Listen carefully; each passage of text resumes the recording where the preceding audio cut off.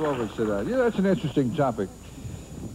George Hamilton IV carried the demo of Roses Are Red, the Bobby Vinton hit. He, George Hamilton IV carried the demo around his briefcase for a year, trying to decide whether to record the song. Has that happened to you guys? Turned down big songs? No, never happened to me. I, I never turned, I didn't turn the song like that down, but I recorded a song that uh, was written for me by uh, my keyboard player at the time, Johnny Stevenson. It was a song uh, that we recorded, put out as a single, didn't do anything.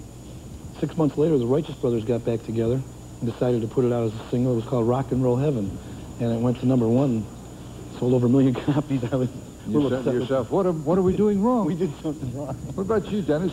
Uh, we turned down Candida, which is a real big song for for uh, Tony Orlando and Dawn. You never know. It's always a roll of the dice. Right. Gary, apparently, who, who was picking your songs? Uh, it was it was my producer, Snuff Garrett. Oh, I know Snuffy. He's Yeah. crazy. Yeah, yeah. He um, he he picked all the material, selected all everything that uh, that we did, and he not only had the ability to pick hits, but he knew when to put them out too. He, I thought he was great. Later, he went on, I, guess this was before he worked with Clint Eastwood. Yeah, He and Clint right. Eastwood uh, formed a uh, record company together. and so Right, right, and and Snuff uh, did the um, the title theme to Bronco Billy, I believe. Right. I think so. Gary, was your was your father instrumental in? Uh, did he did he play any any role in your singing career? Um, it- the only the only thing he helped us with was the very first Ed, Ed Sullivan show. Um, we we auditioned at Disneyland in California to play all summer long, and I didn't want to drop any names or anything. I just wanted to see if we could make it on our own merits and everything, and, and we did get booked for the job. Summer of '64 in Disneyland all summer, and that's where Snuff Garrett saw us. Did, did, did you work the telethon? Yeah, we have worked the telethon before, not last year, the year before that. No, I mean, did you work the telethon back when you had the Playboys? Oh, yeah, yeah. Um, two or three different times, I think. I'm not sure exactly what year, but yeah, we did. You got any brothers and sisters? I've got five brothers, all younger. Six boys in the family. It's a big family. Yeah, yeah. And I have a daughter. Broke broke the ice there. Had a girl, and she's 20 now. Now you guys, she's 20 now. 20. Why, why did now? Why did this this this? I heard all these oohs and ahs out here. I know. I it, I looks like I look 20. fun. Yeah, you. you can't believe a guy that looks this young could have a daughter that's 20, right? Thank you all so much. Thank you very much. I want to tell you, we have makeup geniuses on this show. I recently had the pleasure to uh, work with our next guest. We were on the SS Norway, and uh, I, I, I think he does a marvelous act. He's been on this show before. He's one of my favorite comedians who appears on this show, and uh, I want you to welcome him back, Dan Riley. Thank you. Hey, thanks a lot. Thanks a lot. I appreciate it. Listen, Dan Riley's going to be out here in a minute, but right now I'd like to spend some time with you. I'm your nostalgia DJ, Rob Noxious. How you doing? Good to be here. Hey, we're going to take a little trip through the 60s right now. Put your retro spectacles on, okay? We're going to go back to that time when our phonograph needles went from Elvis to the Beatles. But first, what would the 60s have been without the 50s? Well, they'd have been 10 years early for one thing. Isn't that right? Huh, huh. Okay. Yeah. The band liked that one. At any rate, folks, we're going to talk about the 50s and great people back then like Pat Boone, who, of course, was a smart man and used rock and roll as a springboard to an RV show on the Nashville Network. And, of course, that's, those are the days when Dick Clark looked, uh, well, just like he does today. Anyway, we had a lot of great music back then in the 50s. But then the 60s came along, and we had... Oh, I want to tell you what I was doing back in the 50s. I was a DJ on the only radio station in my town. I was the only DJ. We only had one record player, but that was okay because we only had one record. Uh, unfortunately, it skipped, but I've still got it here today. It's Smoke Gets in Your Eyes by the Platters. Let's hear it. They ask me how I knew my true love.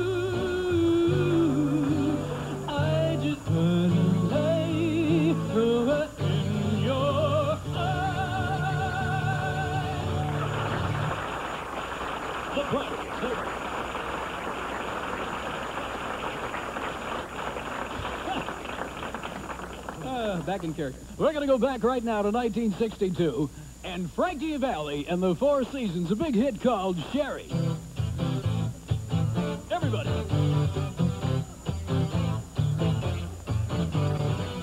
Sherry, sherry baby, sherry,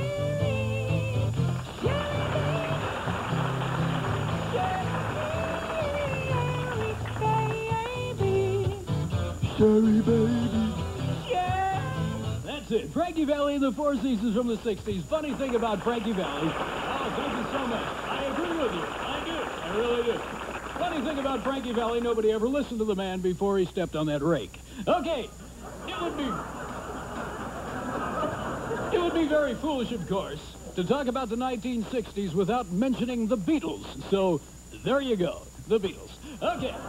A little bit later on, the Beatles got kind of weird and started listening to the Maharishi and all that stuff, and all rock and roll started getting weird. And we had people like, uh, well, even here in Nashville, we had some uh, psychobilly groups that were around. Like uh, Led Stetson did uh, Stairway to Texas, I believe, was a big hit for them.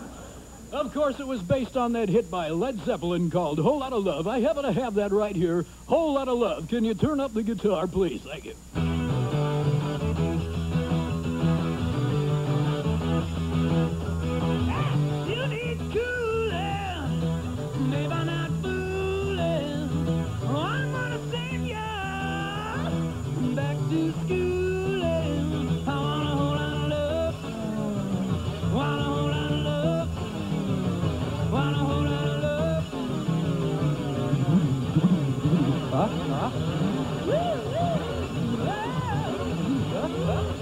supposed to be a freak out.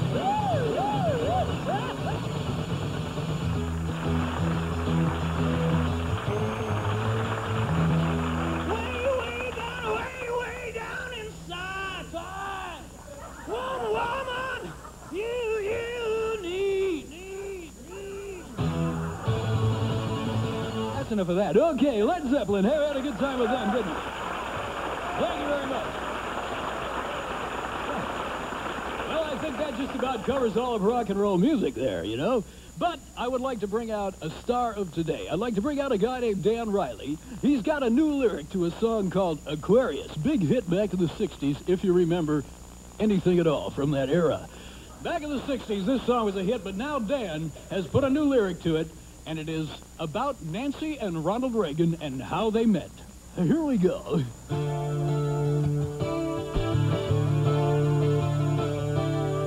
When her moon was in the seventh house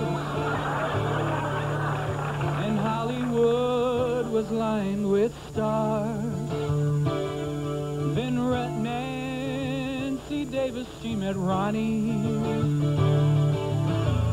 in one of those rich and famous bars. She said, I love you because you're an Aquarius, cool and gregarious.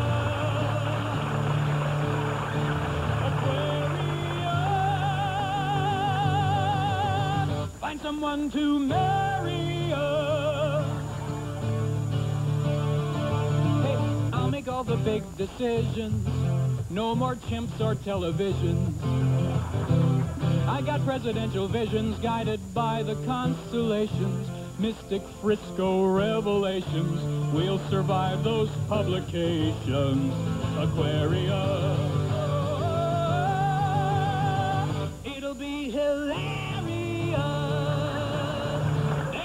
With Aquarius. Thank you very much, Dan. Thank you, Rob. Thank you.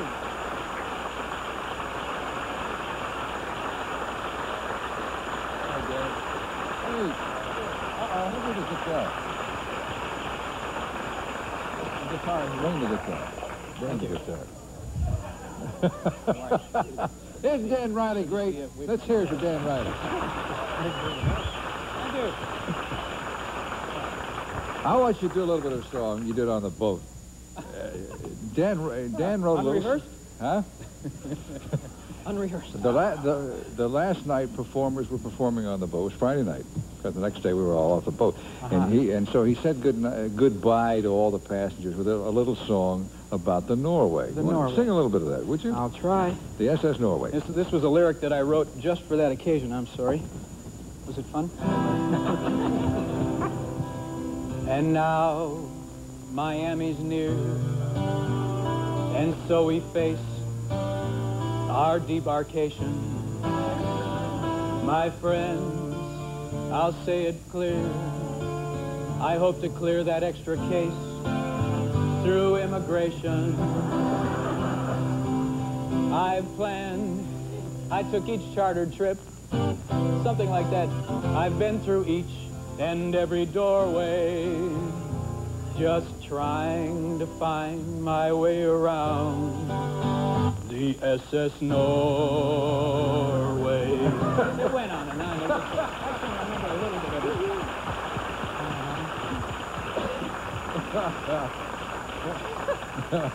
How have you been?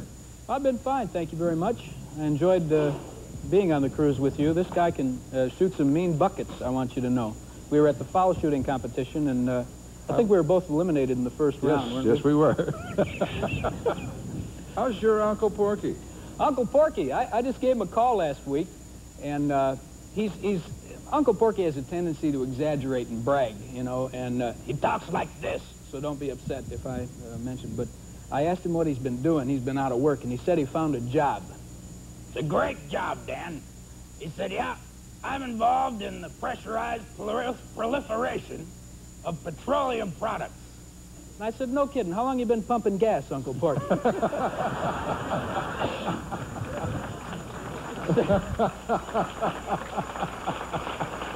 can't say proliferation. He said uh, that he was a little bit sad that day because, uh, in his words, he said, uh, Aunt Porky. We call her Aunt Porky because really, except for the clothes, they look the same. You know, that's it. He said, Aunt Porky uh, fell out of the car today. And I said, well, that's terrible. And he said, Yeah, it is. I got a ticket for littering. Nice guy. Uncle Porky's a nice guy. Let me take a break. You've been watching Dan Riley. We'll be right back.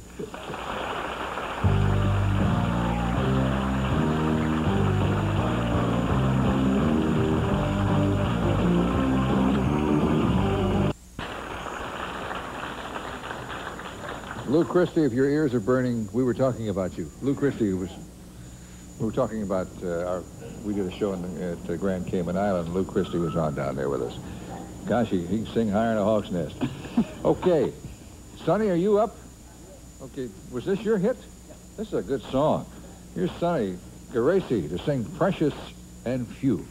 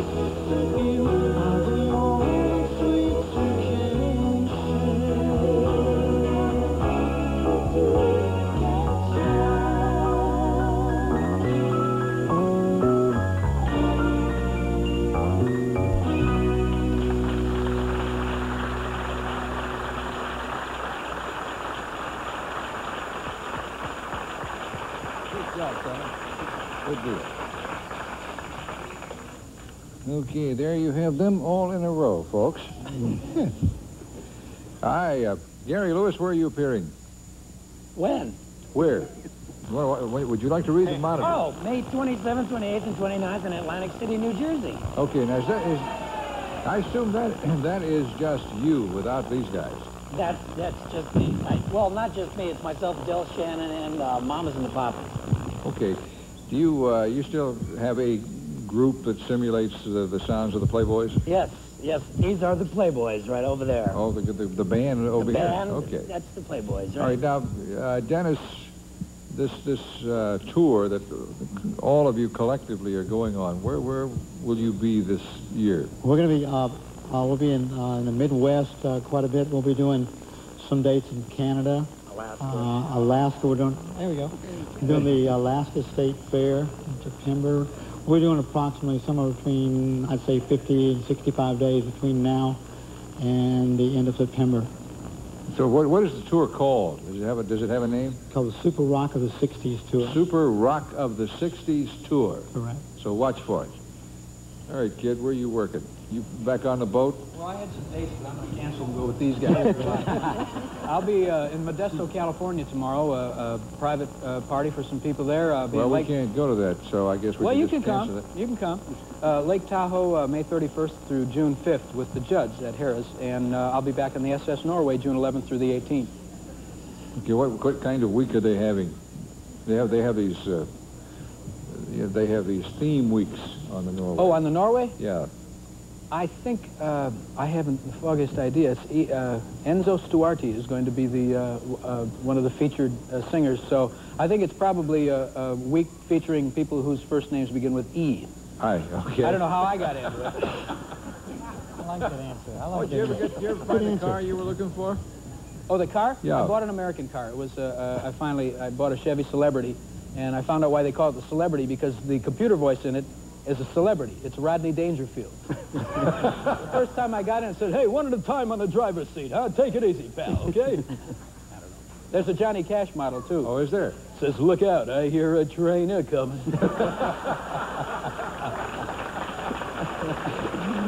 Ah. How do you turn an everyday dish into something special? Try a little real cheese. It's so... Okay, back to 1965 and Gary Lewis again. And count me in.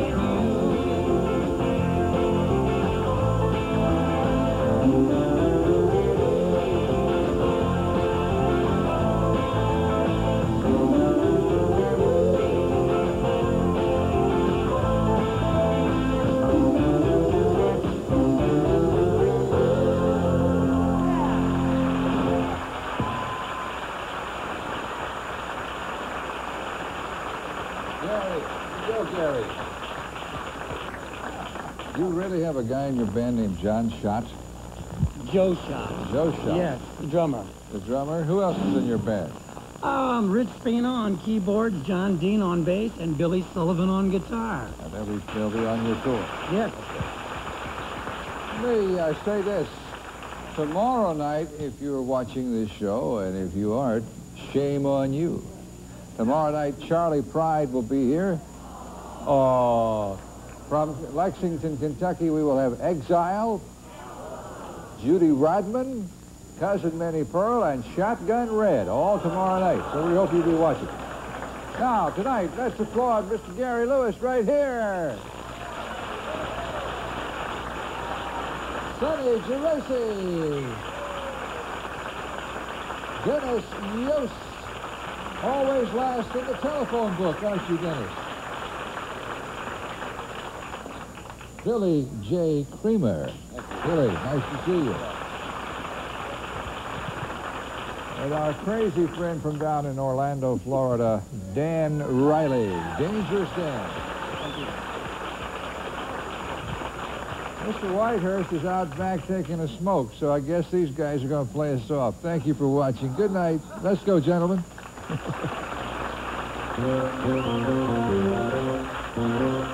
Dip